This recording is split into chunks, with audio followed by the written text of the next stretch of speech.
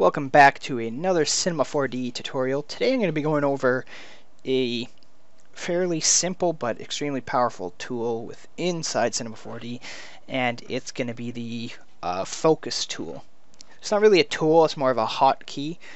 Um, if I were to spawn or place or create or whatever you want to call just a bunch of different objects and we move them into different spots here quickly, that's good.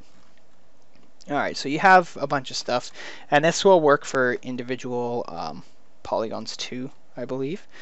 So if you're working on a complex model or complex environment and you have a bunch of different objects in your scene, you can see them all here on the um, the outliner on the side.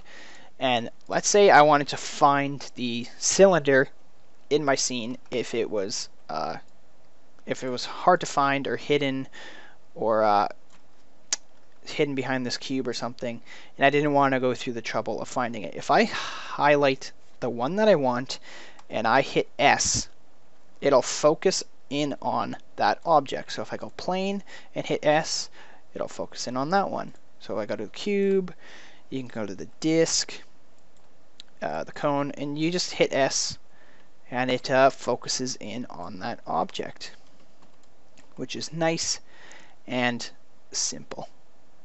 Alright, that's the only thing that I wanted to show you today. Nice, short and sweet. Kind of a quick tip. Um, definitely extremely useful when you start getting into uh, multiple objects in your scene. And I hope you guys have a good uh, night and hope you learned something. So, yeah.